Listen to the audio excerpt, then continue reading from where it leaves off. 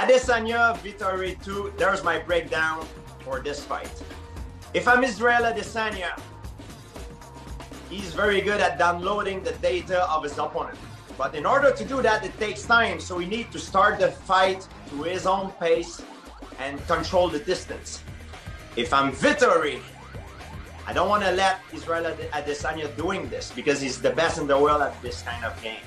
So I want to put the pressure right off the bat and make a very dirty fight. My picks for UFC 263, I got Israel Adesanya winning over Vettori because I think he's got the edge on the experience side, especially in big championship fight that are five rounds.